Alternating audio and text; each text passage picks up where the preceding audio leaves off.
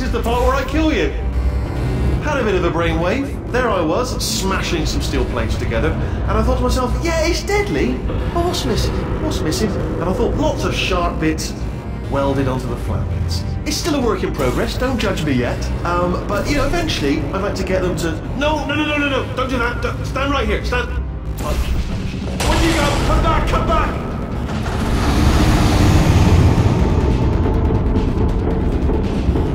Seriously, do come back. Please, come back, please.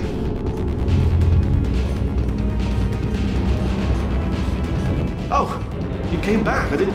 Oh, I didn't plan for this. Uh, can't reset the death trap. Uh. Oh, could you could you just jump into that pit? Could you just jump into that pit for me? Could you just would you just jump into that pit there? That deadly pit. You're saying to yourself, why should I jump in the pit? I'll tell you why. Guess who's down there? Your parents! You're not adopted after all. Oh, wow, good. I didn't think that was going to work.